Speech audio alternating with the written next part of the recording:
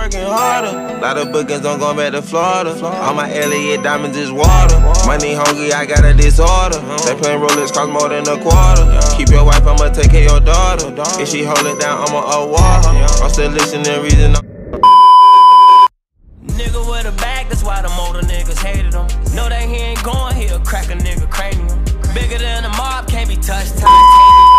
Yo, what's up, So Live gang? It's your boy, Reggie So Live, and I'm back in with another video.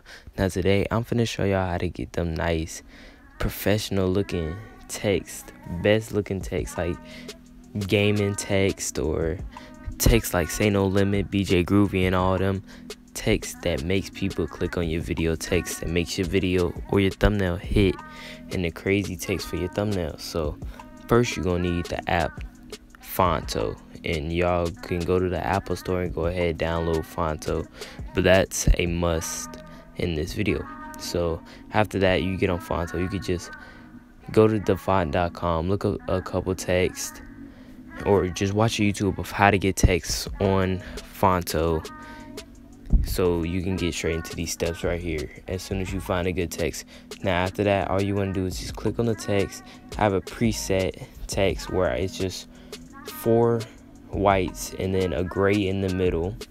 And this is how you get it. And then all you got to do is bring down down the gray part and just make sure that it goes lower. And that's all you would want to do right here is try to make it look nice and like a little bit transparent at the bottom or in the middle to where it'll look like it's a big or solid gradient like white to gray gradient to where it look nice. Now you see I brought it down to the bottom. Now it looks like it's cut off halfway. It's kind of like one of those computer photoshop gradients. Those are the better looking gradients to me and i've worked a lot.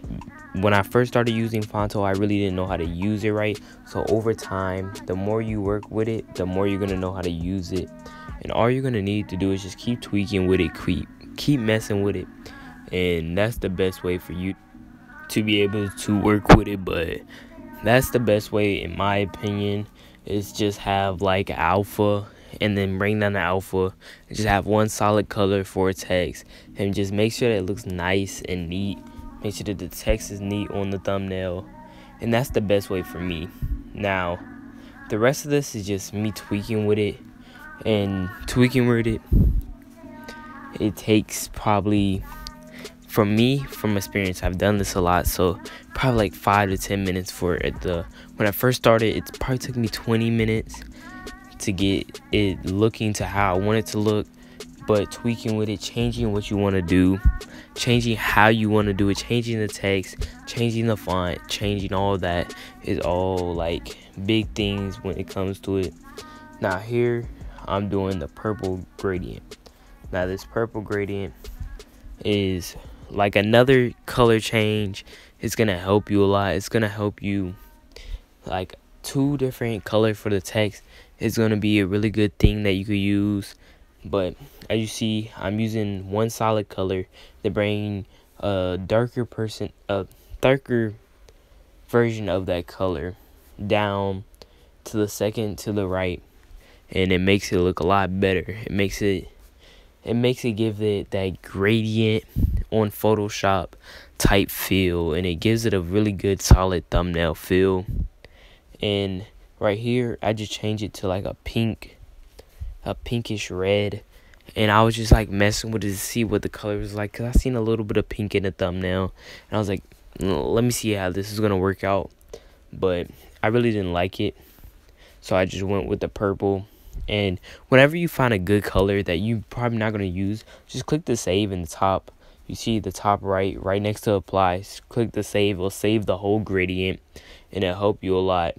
Now when it comes to it this in my opinion the outline the stroke and the stroke is the outline but the shadow to those two combos with the color of your text is gonna make it a lot better and it's gonna make it. I usually prefer to use white, even when I use white text, because it get kind of gives it a 3D feel. And black is not as it's not really as good as an outline unless you're doing like a plain thumbnail or just all white text, and then you could use that that black stroke, and that's probably more of like a professional thumbnail or like some text.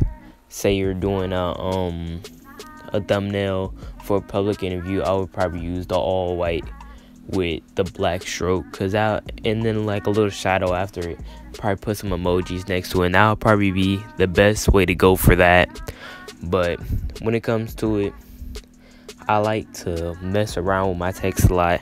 I like to do this and that and just go messing around with it, changing it a lot because I like to put effort into the work and I also do make thumbnails for money. My Cash App is not working right now. So I got Venmo. So if y'all want some thumbnails made, just make sure you got your wallet ready because I can't do these thumbnails for free. It's too many people ask for thumbnails. And I gotta make some money off of this because I'm putting time and effort towards it.